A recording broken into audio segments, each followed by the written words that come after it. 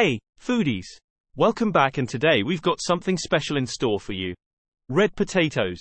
These vibrant and flavorful spuds are not only a feast for the eyes but also a treat for your taste buds. So, stick around as we explore some mouth-watering red potato recipes that will elevate your cooking game. Before we dive in, don't forget to hit that subscribe button and ring the bell to stay updated on all our delicious recipes. Now, let's get cooking. Recipe 1 Garlic Parmesan Roasted Red Potatoes. First up, we have these irresistible garlic parmesan roasted red potatoes. They're crispy on the outside, tender on the inside, and packed with flavor. Let's get started.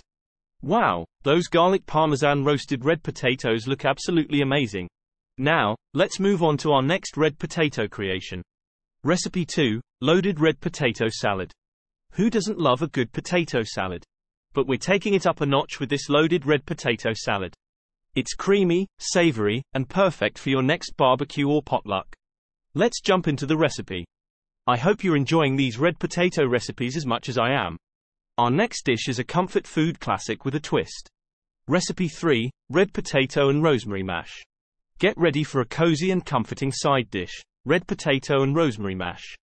The combination of the creamy potatoes and aromatic rosemary is simply divine. Let's whip it up.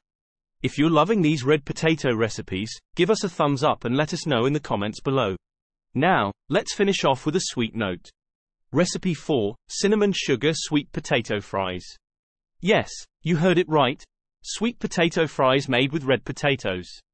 These cinnamon sugar sweet potato fries are a delightful dessert or snack option. Let's end on a sweet and crispy note. And there you have it a lineup of delicious red potato recipes that are sure to impress. Whether you're a seasoned chef or a kitchen novice, these dishes are simple to make and bursting with flavor. If you try any of these recipes, don't forget to tag us on social media.